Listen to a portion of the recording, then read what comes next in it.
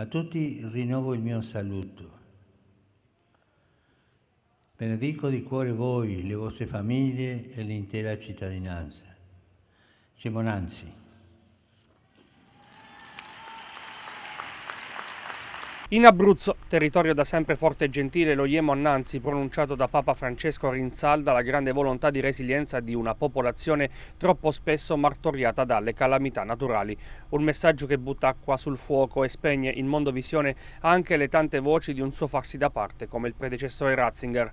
Papa Francesco all'Aquila per aprire la porta della perdonanza. Dopo l'arrivo in elicottero ha abbracciato i familiari delle vittime del terremoto del 2009 in cui persero la vita 309 persone. Voi, gente aquilana avete dimostrato un carattere resiliente, radicato nella vostra tradizione cristiana e civica, ha consentito di reggere l'urto del sistema e di avviare subito il lavoro coraggioso e paziente della ricostruzione. Poi il pontefice è entrato nel Duomo ancora inagibile indossando un caschetto dei vigili del fuoco.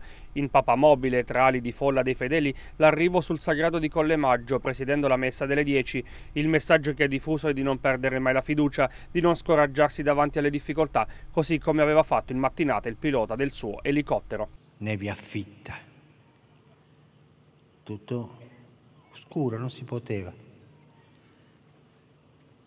Eh il pilota dell'elicottero girava, girava, girava, girava. Alla fine ha visto un piccolo buco e è entrato lì. È riuscito. Un maestro. No? Poi al termine la recita dell'Angelus dedicato al perdono e alla pace in Ucraina. Preghiamo per il popolo ucraino e per tutti i popoli che soffrono a causa delle guerre. Il Dio della pace ravvive nel cuore dei responsabili delle nazioni il senso umano e cristiano di pietà, di misericordia.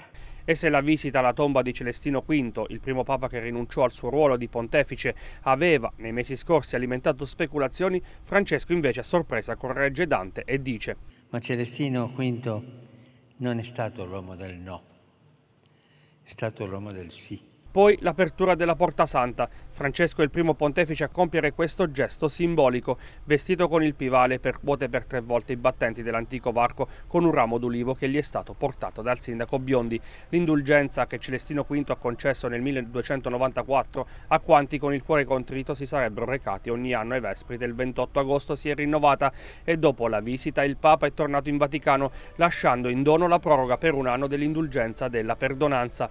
Infatti fino al 28 28 agosto 2023 i fedeli e i pellegrini che si recheranno all'Aquila potranno lucrare ogni giorno l'indulgenza plenaria partecipando ai riti in onore di San Celestino V oppure raccogliendosi in preghiera al cospetto delle spoglie del santo per un congruo spazio di tempo.